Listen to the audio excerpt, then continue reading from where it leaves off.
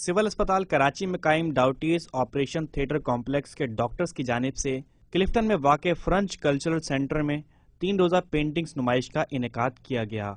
नुमाइश का मकसद इससे हासिल होने वाली आमदनी को अस्पताल के ऑपरेशन थिएटर में गरीब अफराद के लिए इलाज मुआवजे की सहूलियात फराहम करना है।